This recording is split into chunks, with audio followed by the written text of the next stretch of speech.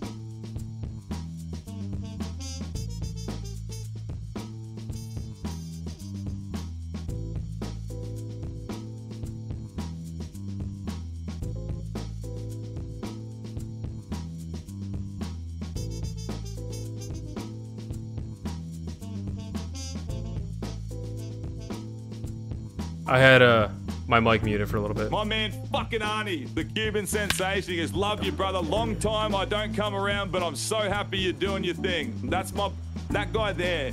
He owns a fucking um, uh, a watch and jewelry store in Miami. That's my big bro right.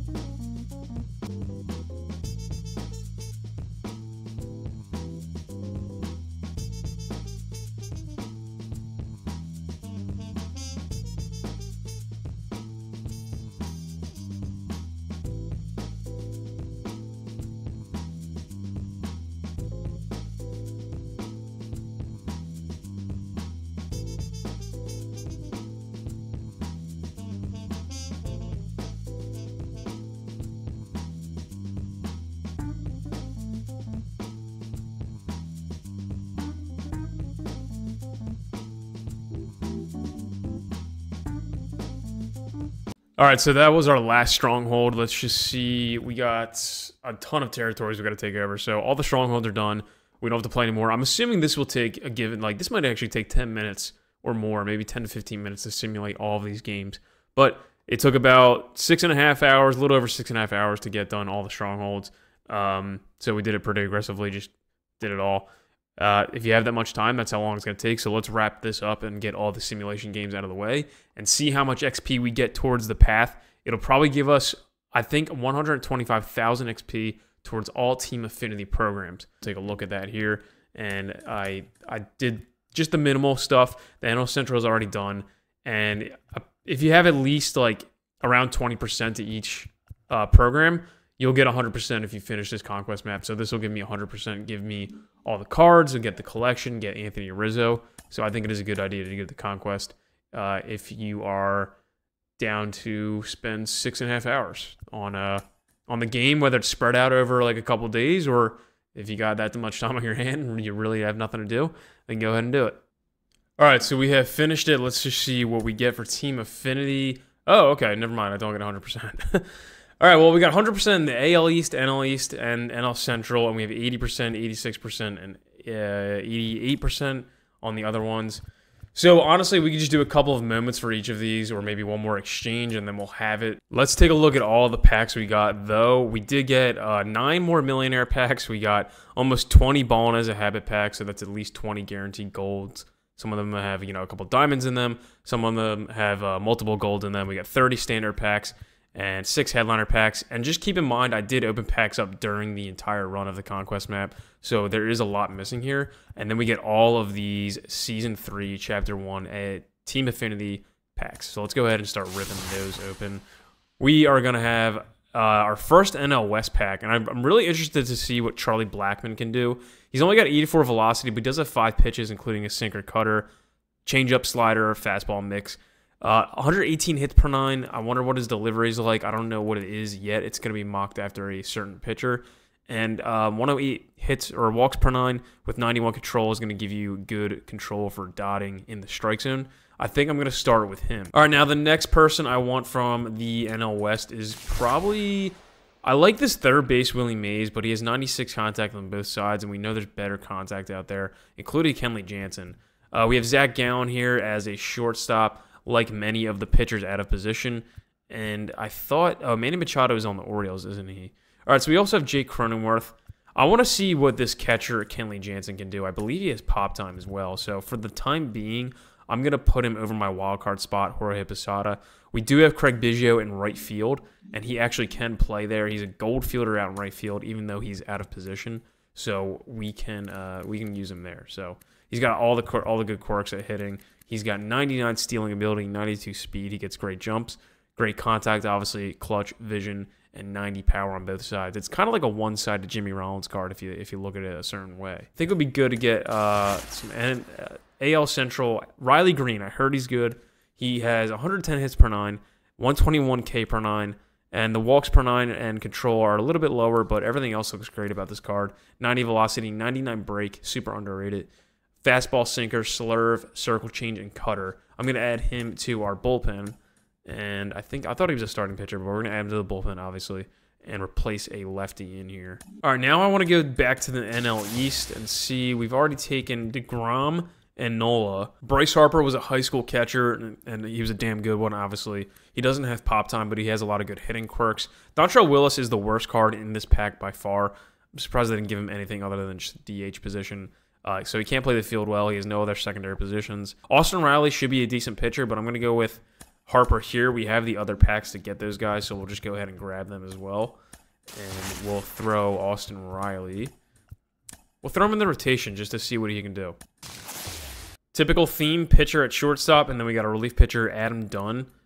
It's just cool that we're, we're getting guys like Oneil Cruz uh, as a captain, and he's facing off against Elly De La Cruz on the mound. So it's it's a pretty interesting season so far. My second pick should be Byron Buxton because he has that outlier fastball, and he's got a curveball, slider, splitter, sinker, so pretty good pitch mix, and he's got 99 break as well. So uh, 106 K per nine. I like this card. Let's put him in the rotation. We'll go ahead and grab Dontrelle Willis just to finish out the NL East. NL West again. I'm going to take, uh, let's just take this Willie Mays here. We'll build an all out of position team, see what that looks like. All right, he is a third baseman. He can also play first base. He can play third base. So that's his main position, obviously. Uh, DH. All right, next we got the NL West. Uh, we have two more, Cronenworth and Gallen. I want to take Cronenworth, put him in the bullpen. All right, i am curious to see what Nolan Ryan's going to do with that really good fielding out in center field. Randy Johnson, I heard he's got a pretty pretty good swing from what I've heard. All right, a couple of quirks. He's good in the outfield as well. He plays left field. Let's go put him next to Nolan Ryan in left field.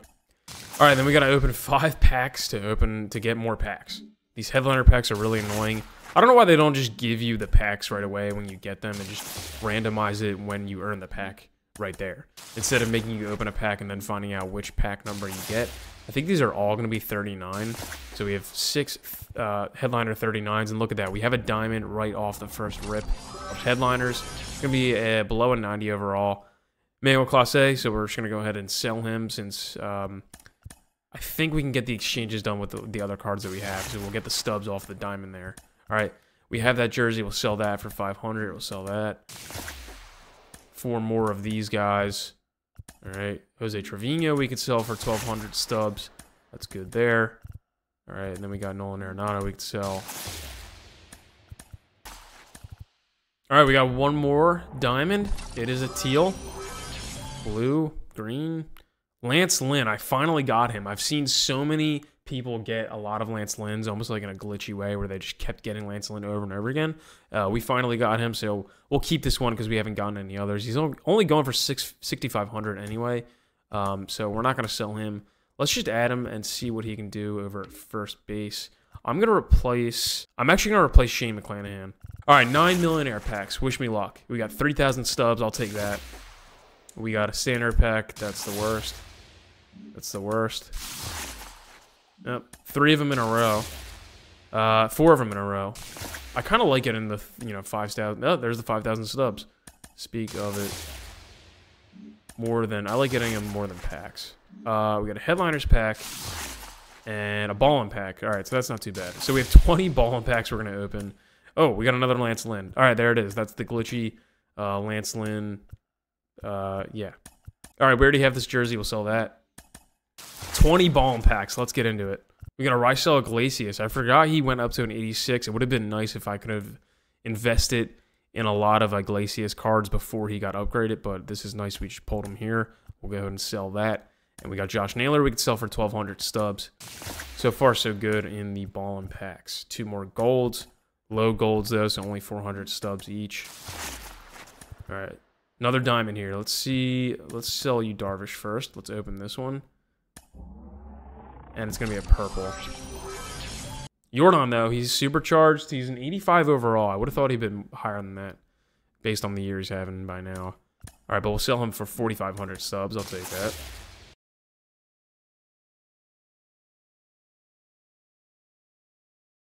He might go diamond if he keeps it up.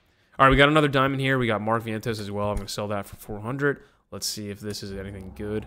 Nope, it's going to be a purple, but hopefully it's a decent amount of stubs. Freddie Freeman, 87 overall. He's going to go for 4,500. The good thing about having a lot of ballin packs is you're going to get a lot of stubs if you don't already have these cards in your collection. All right, Max Scherzer still gold, and he's an 80 overall, so only 40, 400, I mean.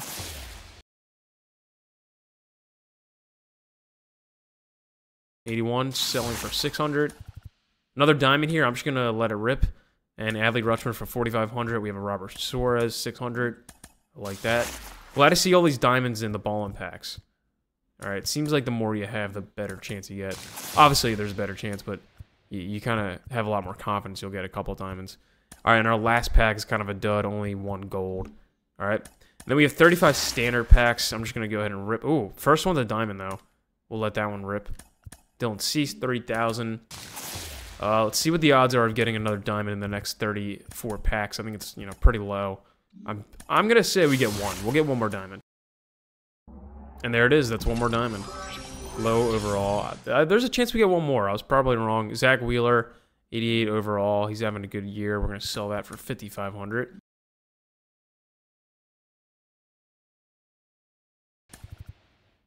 And we did get one more diamond. So they did prove me wrong, and it's a teal diamond, so uh, by the hair, I'm guessing it's... Oh, that's another Lance Lynn. so we get Lance Lynn out of a standard pack. That's pretty interesting. We'll sell him for 5,000. All right, last pack, and it looks like we're going to end up with over 200,000 stubs in selling off the cards that we did not need. And on the regular Season 3 XP reward path, it's a shortened one. We're going to get really close to Hank Aaron at 350,000, but we are at 239,000 XP. So we're going to get that done as quickly as we can. Over the next couple days, I'm sure I'll finish Team Affinity very quick, you know, pretty quickly with these almost done. And um, I really want to get Lou Gehrig. So we're going to have to work towards the overall collection for Season 3 to get that first pack, which would be really nice. I think I'm going to take Lou Gehrig first. He just looks great. All right. Um, and then we'll get Mo. As we get more, we'll get Jackie Robinson, who I'll throw in there. But let me know what you guys think and if I should do another program like this, or if you guys like these videos with the CPU grinding. Uh, let me know what you think, or if you like more of the online gameplay. All right, thanks for watching.